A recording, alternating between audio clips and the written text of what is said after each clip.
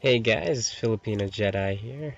Um, today I got two clips um, of uh, funny care package. Uh, I would say, yeah, yeah, funny care package videos. One, the first one's a glitch that happened to me. This is when the game first started, um, came out.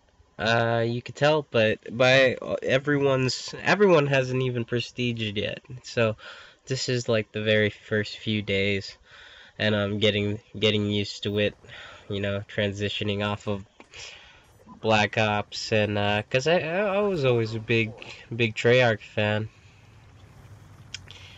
Yeah so this video you'll see. What oh my at first I uh, it never gets old so what happened was the package actually got uh, stuck in the fence, and then I guess the game decided, you know what, you, you don't deserve this package. Alright.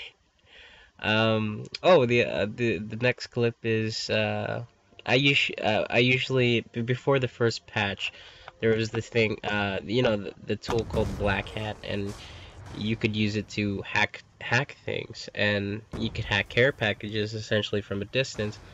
But before the first patch, you could do that with anyone's care package, even your friendlies. So this guy, he accidentally,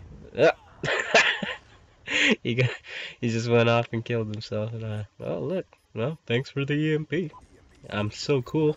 uh, uh. Uh, uh, uh. Well, anyway, guys, thanks for watching.